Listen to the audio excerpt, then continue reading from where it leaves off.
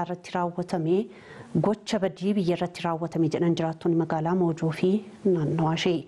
Mootummaanis gocha raawwatame kana ariitiin qulqulleessee tarkaanfii fudhachuu qabas jedhan yaada jiraattota kanneen Shifarraa Taaddalaa akka itti qindeesseera.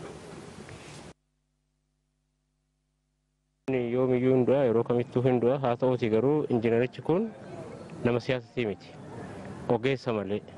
Lammaffaa dirqamni fudhatee hojjechaa jiru dirqama nama dhuunfaa dhuunfaan dirqama biyyaa dirqama Itoophiyaati.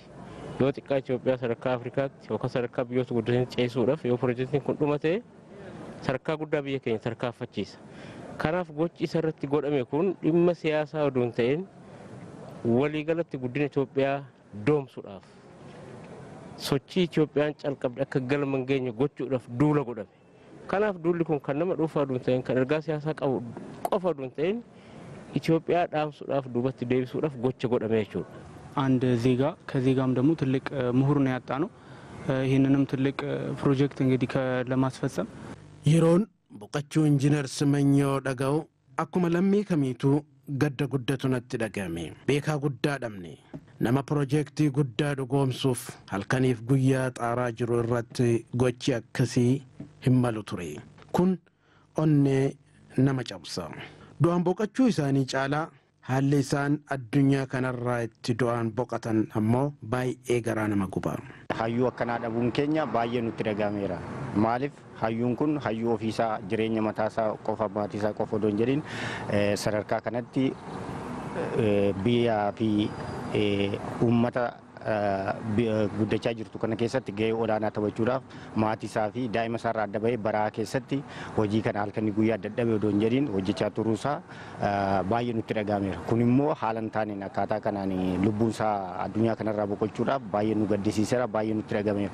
Biyyattiin kun nama beekamaa tokko nama biyyattii kana gara fuulduratti tarkaanfachiisu akka dhabdettanii ilaala.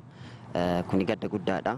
Biyyattiifis maatiifis gadda guddaadha. Wanni ta'uu qabu garuu mootummaan dhimmi kun akka isaatti bira darbamuu qabu. Tokkoffaa waan Itoophiyaa keessatti hin baratamne waan haala amma kan ta'aa jiru.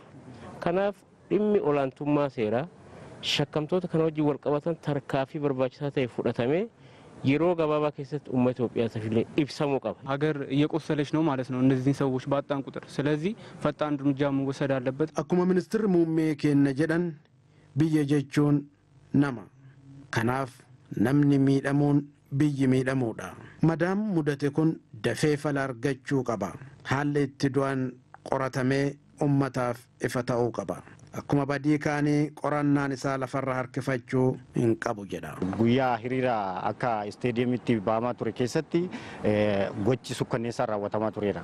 Sanaanis wal qabatee uummanni eegaa ture.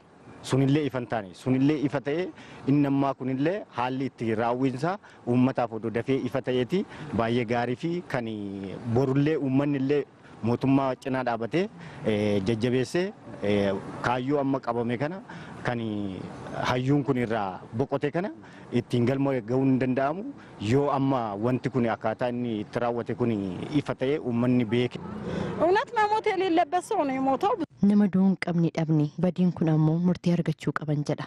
Wantoonni akkanaa kun taateen akkanaa kun gaafa uumamu mootummaanis hawaasnis callisee ilaaluu irra jiraatu namoota pozishinii akkanaarra jiran gara fuulduratti kanarraa baratamee eegumsi cimaan godhamuufi akka qabu akkasumas lubbuun nama dabree kunis hordoffiin cimaan godhamee taateen ta'e kun uummataaf ifa ta'uu qabaadha. Isa kana mootummaan tarkaaffii barbaachisuu fi qorannoo adda ta'e yeroo gabaabatti qoratee tarkaaffii barbaachisu tarkaaffii nama barsiisuu fi uummanni irraa barachuu qabuun tarkaaffii kana fudhachuu qaban jedhaan.